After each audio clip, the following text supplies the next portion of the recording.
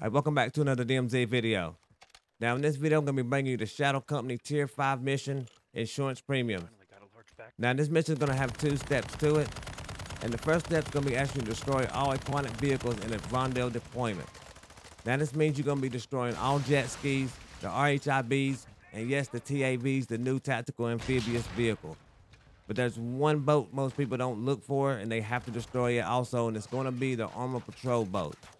Now, there's many ways you can destroy all these vehicles, and that's one way. You can get into this uh, armor patrol boat, and you can ride around and shoot at all of the vehicles, including the tactical amphibious vehicle, and then destroy them like that. Now, you also can just shoot at the regular jet skis and the RHIBs with a assault rifle. They don't take that many bullets to destroy them, and that way you can save from having to shoot them with a launcher, which I'm going to talk about next. If you want to do another way, to me, the easiest way is to spawn in with a launcher and just go around and just destroy them like that. The best launcher to use is the JOKR. Now I tried it, I tried it that way, and that was the quick and easiest way. But then I had to, I got killed or something, and then I had to use a RPG. That works just as fine. But the JOKR is the best one due to the fact it's a one-shot kill. But once you get all these vehicles destroyed, you can move to step two, which is asking you to destroy the Bullfrog commander in the same deployment. Now, there's many ways of doing that also. Now, most people are using uh, kill streaks to kill the Bullfrog now.